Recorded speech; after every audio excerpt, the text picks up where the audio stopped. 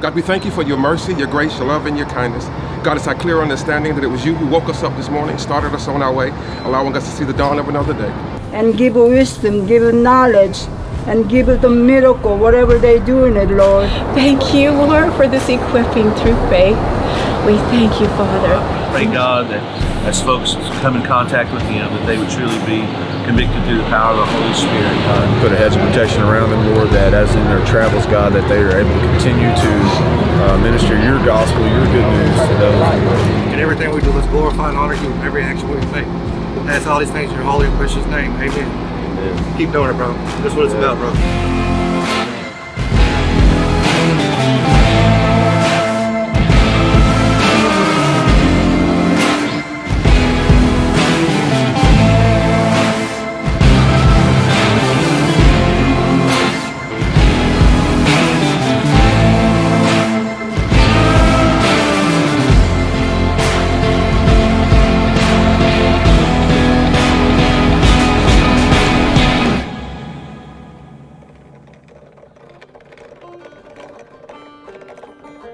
Neighborhoods are much slower because people aren't walking around, but you know, you just try to just talk to the Lord, walk with Jesus, and pray that God brings some divine encounters. It's a little slower for sure. What do you, what do you think when you see someone carrying the cross like this? Well, that's what kind of impressed. Someone's doing it in North Little Rock. Yeah? Yeah. Why is it impressive? I used to don't see that kind of thing in North Little Rock. Why's They don't. Uh, God's kind of missing from over here. Okay. He's, they don't. Uh, yeah. I wish we wouldn't moved over here. So we're in North Little Rock. We just crossed the bridge, and a guy earlier, right when we crossed the bridge, said nobody comes this part of town, specifically the area of North Little Rock. And uh, he just said even even a five-year-old probably has a gun, and um, we're just ministering to a couple of guys here in the street. I uh, personally think it's a little sketchy, but uh, God's God's still moving. There's people a cross like that, bro. What do you think? Oh, ain't nothing wrong with it. Well, just do it because Jesus told me to. Ain't nothing wrong with that either. What's your name? My name Lavelle, bro, but everybody call me Dirt. Dirt? Yes, sir. Well, well, when you see someone carrying a cross, what goes through your head? Hey, somebody needs some prayer What are you trying to do work. Yeah. Well, uh, how can we pray for you? I mean, well, I got a lot going on. My pop's on his deathbed right now. Hope we make it. What's the Um, deal with your dad? My pop's on his deathbed right now. Oh, okay.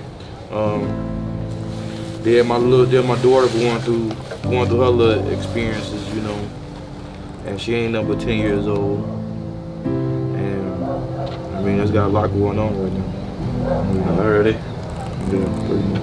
Well, we're gonna pray for your family. Okay, I appreciate it. So Jesus, we just pray for Devell, and I just pray for his dad. We just pray for a miracle. Jesus, we just thank you for bringing a miracle into his life. So, have you ever had a time in your life that you surrendered and got born again? Uh, yes, sir. When was that? Uh, was after me and my my ex-wife got divorced. Okay. I got out there. I was on drugs real bad, and you know what I mean, because I didn't want to get divorced, and you know what I mean. Like you said, you feel cursed, and it's like I it's like I couldn't get nothing done, and just kept messing up everything. And I didn't, you know what I mean. I felt like a the f up, you know what I mean. Yeah. And it's like, man. Jesus, I just pray for Jeremy. I pray for the weight on his shoulders, the weight of sin.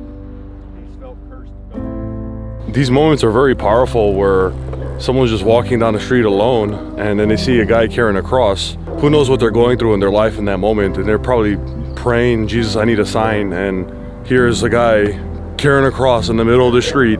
But that powerful moment uh, might impact that dude for life. And Lord really speaks to him through through the cross. We saw you walking down the street. She was like, "It's some guys in there carrying a cross." And I said, yeah. And then you walk past the door, and I was like, "Oh." I've seen it. I'm from Conway, and I've seen it done in Conway. Mm. So when you see someone carrying the cross, how does it make you feel?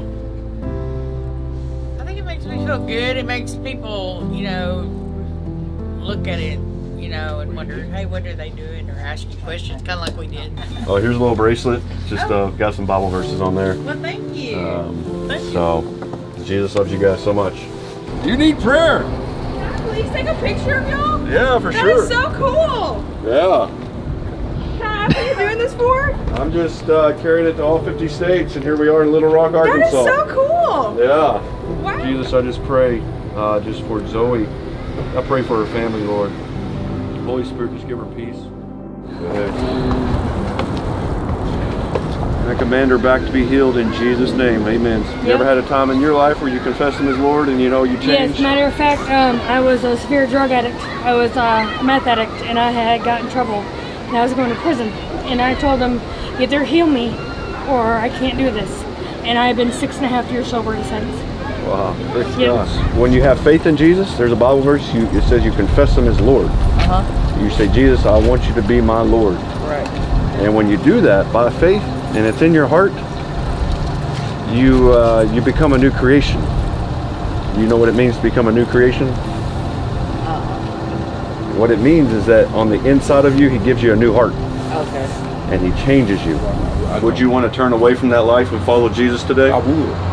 I ain't gonna lie to you, I would. Well, let's I'm tell them. You know, For, from your heart, say, Jesus, Jesus, I'm going to live for you. I'm gonna live. I don't enjoy that life, I don't enjoy that life, but I want life in you, Jesus. but I want life in you. Jesus. I want you to be my master, I want you to be my man not sin. and not sin. Amen. Amen. Do you believe that in your heart? Yes, I do. I really do. Would you say you're close to God today or far away? I say close. That's good.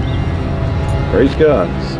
You guys are hungry and you're, you're gonna pursue the Lord, like you go after Him, He's gonna He's gonna give you a newfound joy, and you're just gonna you're gonna have new relationships come into your life. Remember what He mentioned, right? Sometimes we gotta let some people go, and when you seek the Lord, when you truly you're hungry, you're going after Him. He's going to open up new relationships and new doors because he's going to try to pull you closer to him. And so you're going to start having those divine connections. But it all starts with you and giving him your heart and saying, you know what, I'm tired of doing my own thing. Jesus, what is what do you want me to do now? It's just that simple prayer. You should carry the cross with me. Now. You want me to carry on the street? Come on. Come on.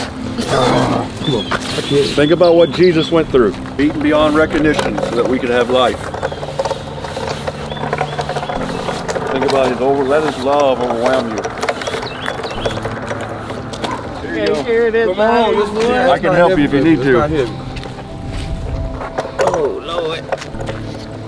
When he was doing this, he was thinking about you. He's thinking about me.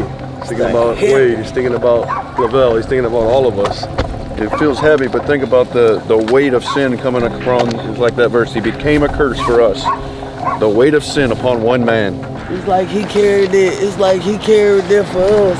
And it's like when the waves of sin come up off you, it lifts up. a- It lifts, you know, it lifts up. You ain't got all that extra heavy weight That's right. up on you. So yeah, Well, bless you guys. thank you. Bless you guys too. Thank y'all for Have a good evening. You Yeah, get my let me a number. hug. Thank you guys for coming. Thank you guys for coming out, coming talking to me. Yeah, appreciate it. This is the Lord. Yeah.